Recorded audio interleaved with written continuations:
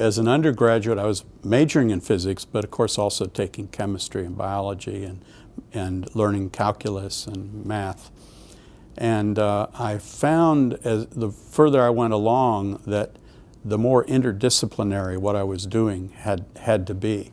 So physics was a good basis, but I need to know, to understand the atmosphere, I need to know atmospheric chemistry. Um, uh, not just the nitrogen and oxygen, but the trace gases like CO2 and, and so on. And how does CO2 dissolve in the oceans? Um, and how does that affect the biology of the oceans, the micro critters that live in the upper ocean? So um, partly I have to just learn those other fields myself and integrate them, and partly I have to work with people who are experts in, say, ocean biology or atmospheric chemistry and work together on, on teams to, uh, to uh, see how all those things play together.